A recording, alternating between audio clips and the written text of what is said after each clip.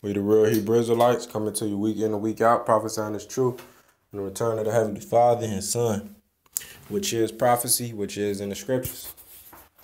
First and foremost, want to give all praises, glory, honor to Yahweh, Bahasham Yahweh Shai, which is the correct name of the Heavenly Father and the Son, who the real ignorant called Jesus, Jehovah, and a bunch of improper translations, which is not true, that don't line up with facts nor scriptures. Excuse me. And uh, double honor to the elders and apostles of great millstone that the Most High set up according to scriptures, man. And shalom to all the brothers pushing his word down, true, sincerity, and charity, not just here in America, but all across the world, which is prophecy. I basically want to go into the scripture, uh, this topic, the greatest, strongest military. And, you know, I want to pull scriptures out on it, you know, going into this, you know, because, you know, because comparing um, physical, carnal things such as this, a strong military and using the so-called white man as an example because he has the straightest he have the grunt the Salaki, excuse me, he have the strongest and the greatest military because his blessing was the sword. You know, that was his blessing, the sword and to be ruling now.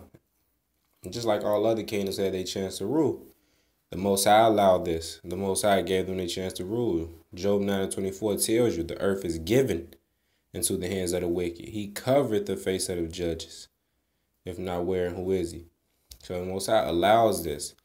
A, a bunch, according to a bunch of more scriptures, the Most High create uh, light and he create darkness. Shall not a trumpet be blown in the city? Uh, and the people be not afraid? You know, the Lord controls everything, man. He killeth, he maketh alive. He set up one, he bring it down another. So you know that the Most High ruleth in the kingdom of man, according to Daniel, the fourth chapter, man. But yeah, I want to go into this real quick. Uh, so I typed in on Google the greatest, strongest military. You know, they tell you the so-called white man, which is uh, America. Then they say Russia and China and all these people that's jockeying for a position. Because ultimately, it's all going into the World War Three, which is prophecy in the scriptures, which is prophesied by the holy men, by the prophets back then and today, because the prophets are back today through a thing called reincarnation that is in the scriptures. Prophesying the same thing, man. Ain't nothing new under the sun. The Lord finna set the Israelites up. He finna do greater than what he did to us in the beginning starting with the elect, man. And two thirds of our people that's not with it, that trust in the so called white man, is military might, that trust in the modern day Egypt, the modern day Pharaoh, because they got uh, military strength and they got wickedness that's not wisdom but is wicked. And you love it, and you're gonna be destroyed, man.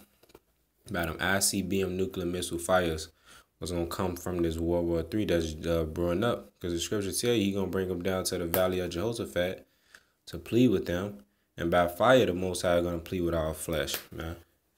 And uh, the the plague, well, with the uh, Most High, he gonna smite the nations in the two thirds. You read that in Zechariah, man. For the heathens that fought against us, man, and sold us and did horrible things to us.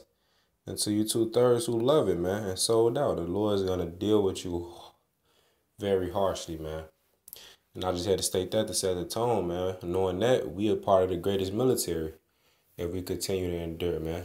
Because right now, our spiritual warfare is we just we just talking. We going out on the highways and byways, but soon if we are men, it's gonna be manifest. We the sons of God.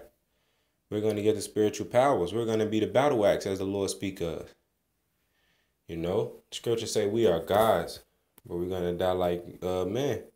Roughly paraphrasing, man, because we went off. We transgressed. We was disobedient to the Lord. But the Lord is going to fix all that, man. The Lord is coming to fix everything. This is Zechariah 8 and 1. Again, the word of the Lord of hosts came to me saying, and when you look up the word host, it means army.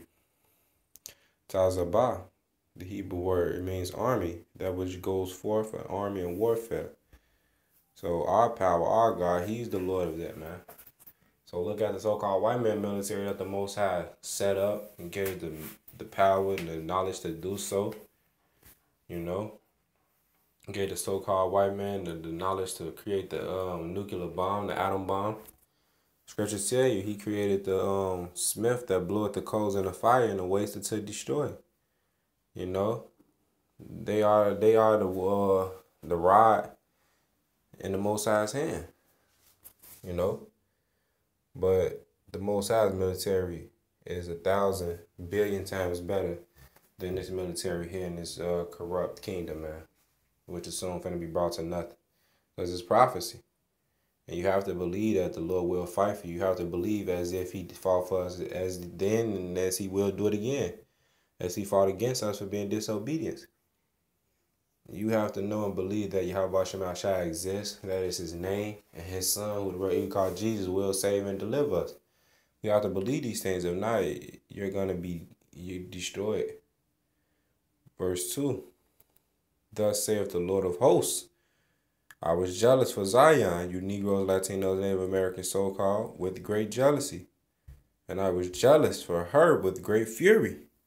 And in return, that's what the Lord did to us, man. He let so called white men do what they do in other heathen nations, man. But the Lord's going to judge them, man.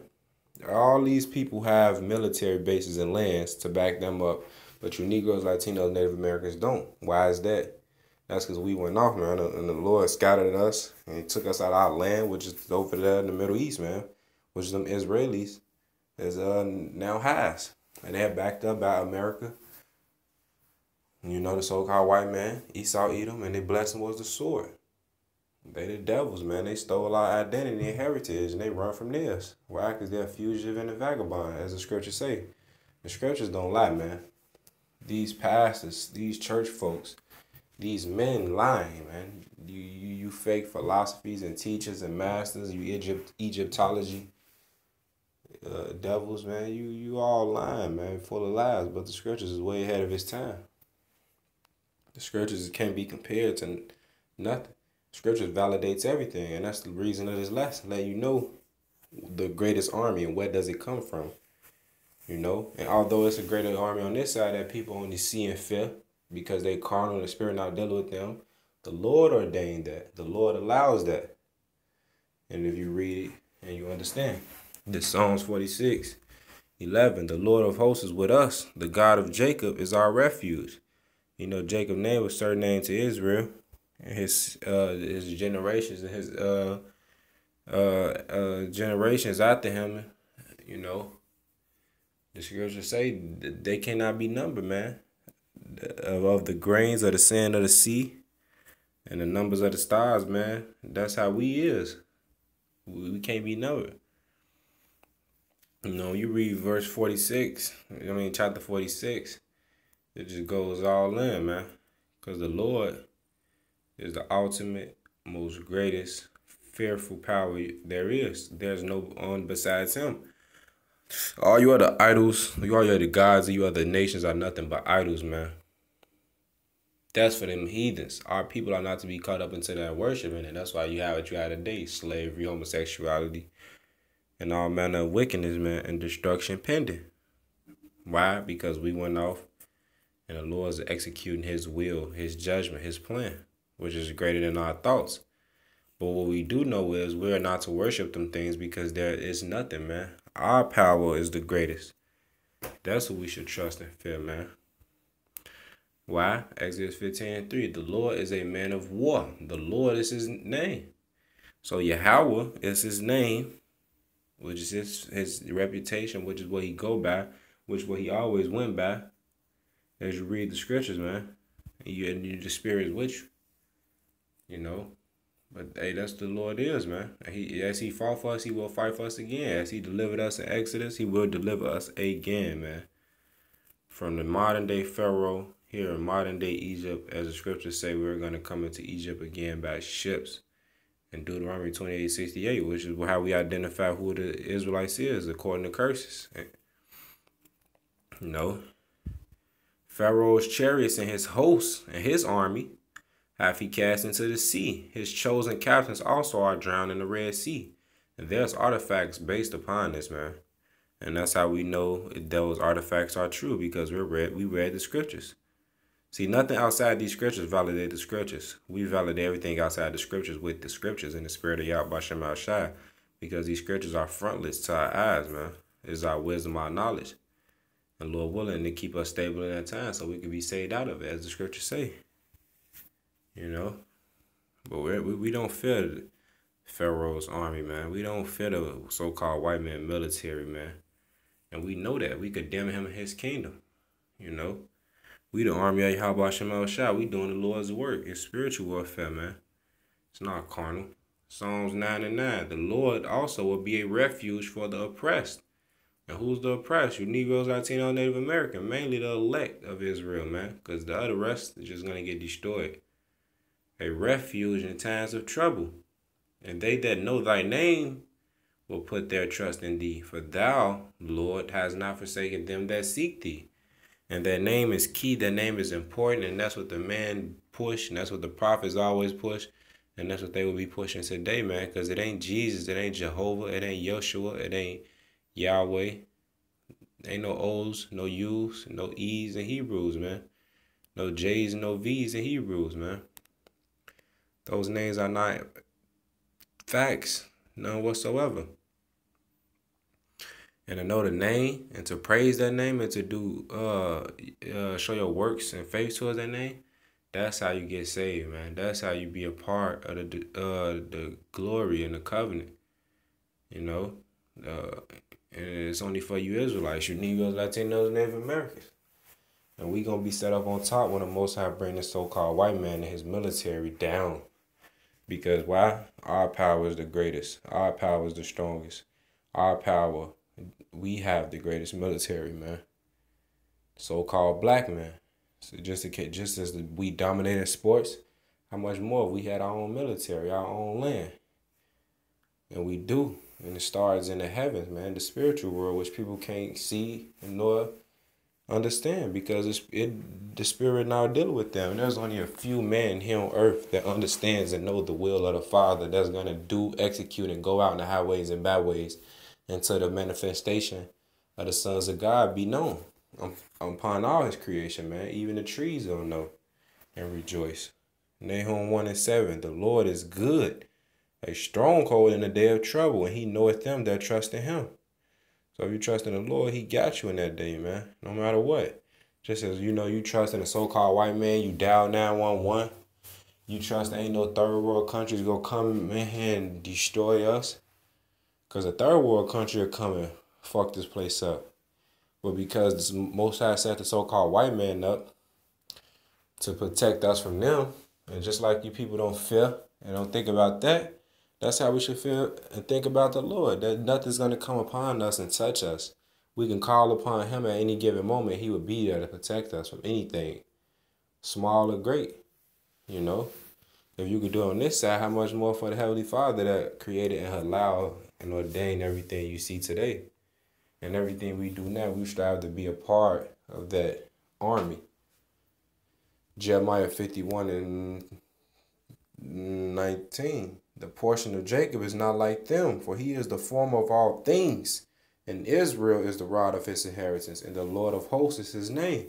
Thou art my battle axe and weapons of war.